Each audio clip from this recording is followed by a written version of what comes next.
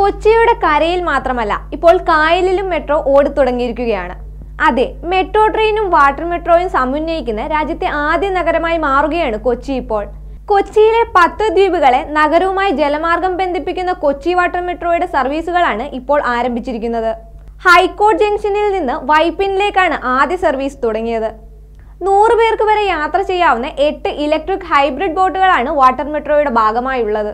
സുരക്ഷ ഉറപ്പുവരുത്തുന്നതിനായി വേലിയേറ്റ സമയത്തും വേലിയിറക്ക സമയത്തും ബോട്ടുമായി ഒരേ ലെവലിൽ നിൽക്കാനാകുന്ന ഫ്ലോട്ടിംഗ് ജെട്ടികളും യാത്രക്കാരുടെ എണ്ണം തിട്ടപ്പെടുത്തി സുരക്ഷ ഉറപ്പാക്കാൻ പാസഞ്ചർ കൺട്രോളിംഗ് സിസ്റ്റവും വാട്ടർ മെട്രോയിൽ ഒരുക്കിയിട്ടുണ്ട്. പദ്ധതി പൂർണമായും പൂർത്തിയാകുന്നതോടെ പത്ത് ദ്വീപുകളിലായി മുപ്പത്തിയെട്ട് ടെർമിനുകൾ ബന്ധിപ്പിച്ച് എഴുപത്തിയെട്ട് ബോട്ട് സർവീസുകൾ നടത്തും. മലിനീകരണം കുറയ്ക്കാൻ സാധിക്കുമെന്നാണ് പ്രതീക്ഷിക്കുന്നത്. വളരെ കുറഞ്ഞ യാത്രാ നിരക്കും വാട്ടർ മെട്രോയുടെ മറ്റൊരു പ്രത്യേകത തന്നെയാണ്. മിനിമം ടിക്കറ്റ് നിരക്ക് ഇരുപത് രൂപയും പരമാവധി നിരക്ക് നാൽപ്പത് രൂപയുമാണ് ടിക്കറ്റ് ചാർജ് വരുന്നത്. ഹൈക്കോർട്ട് മുതൽ വൈപ്പിൻ വരെ ഇരുപത് രൂപയും വൈറ്റില മുതൽ കാക്കനാട് വരെ മുപ്പത് രൂപയുമാണ് നിരക്ക്.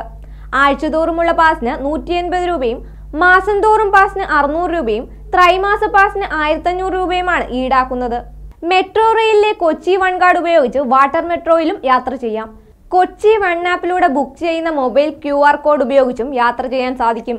തിരക്കുള്ള സമയങ്ങളിൽ ഹൈക്കോടതി വൈപ്പിൻ റൂട്ടിൽ ഓരോ പതിനഞ്ച് മിനിറ്റിലും ബോട്ട് സർവീസുകൾ ഉണ്ടാകും. രാത്രി എട്ട് വരെ സർവീസ് നടത്താനാണ് തീരുമാനം.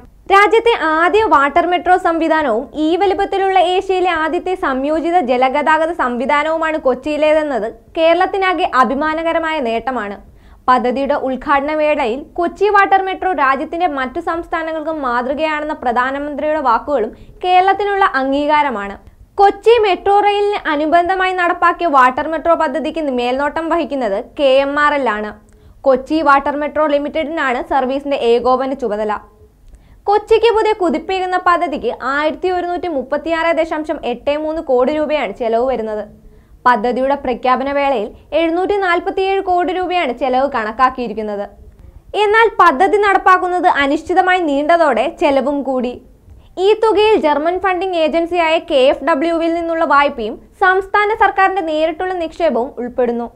സംസ്ഥാന സർക്കാരിന് എഴുപത്തിനാല് ശതമാനവും കെ എം ആർ എല്ലിന് ഇരുപത്തിയാറ് ശതമാനവുമാണ് ഓഹരി പങ്കാളിത്തം. വാട്ടർ മെട്രോ സർവീസ് കൂടുതൽ റൂട്ടുകളിലേക്ക് വ്യാപിപ്പിക്കുന്നതോടെ കൊച്ചിക്കാരുടെ യാത്രാ ദുരിതത്തിന് പരിഹാരമാകുമെന്നാണ് കണക്കുകൂട്ടൽ.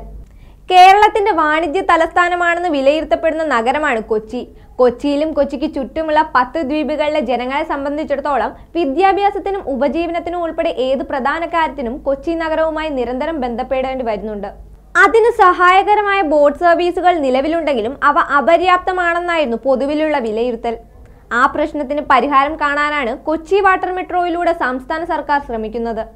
ഈ ജലഗതാഗത സംവിധാനം ദ്വീപുകളുടെ സാമൂഹ്യ സാമ്പത്തിക സാഹചര്യങ്ങൾ മെച്ചപ്പെടുത്തുന്നതിനോടൊപ്പം ദ്വീപുകളുടെ അടിസ്ഥാന സൗകര്യ വികസനത്തിനും വഴിതെളിയിക്കുകയും ചെയ്യുമെന്നാണ് പ്രതീക്ഷ.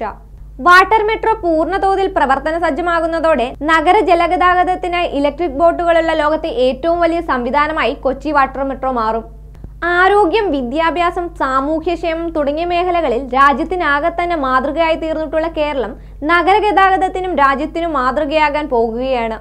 നമ്മൾ ഒരുമിച്ച് സൃഷ്ടിക്കുന്ന നവകേരളത്തിന്റെ അടിസ്ഥാന ഘടകങ്ങളിലൊന്നാണ് മാതൃകാപരമായ പൊതുഗതാഗത സൗകര്യങ്ങൾ. അതിൽ പ്രധാനപ്പെട്ടതാണ് കൊച്ചി വാട്ടർ മെട്രോ. ഇന്നത് ഓരോ കേരളീയന്റെയും സ്വപ്ന സാക്ഷാത്കാരമായി മാറിയിരിക്കുകയാണ്.